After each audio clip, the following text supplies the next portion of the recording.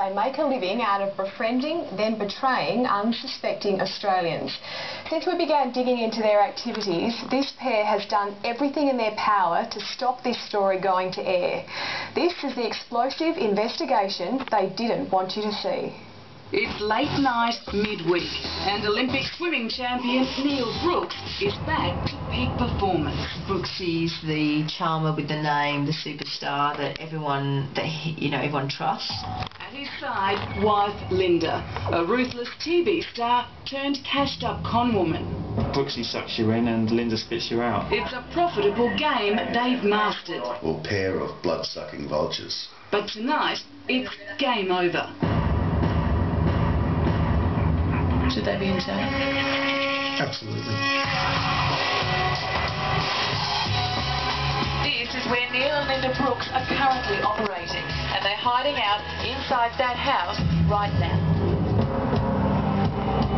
It's the Gold Coast's most exclusive address, the Sovereign Island.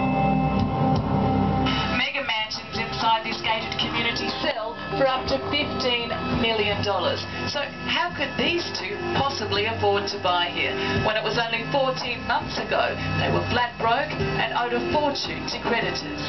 Tell me how you're affording to live the lifestyle you are. This is so because we work hard.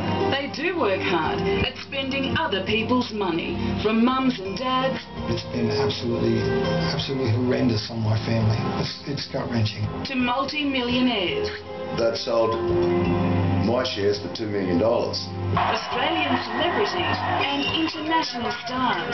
We're talking hundreds of thousands of dollars. Sporting teams in this country The Holden dealer team uh, for $30,000 worth of merchandise that was supposed to go to Bathurst.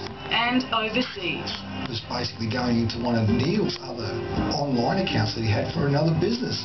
You told me you were going to turn over a new leaf. You're going to do the right thing by things.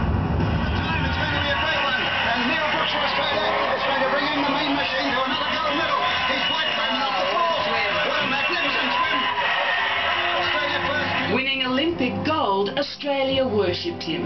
But the Mean Machine's main man became a monster. As a sports presenter, he was a drunk, kicked off the air for unforgivable behaviour.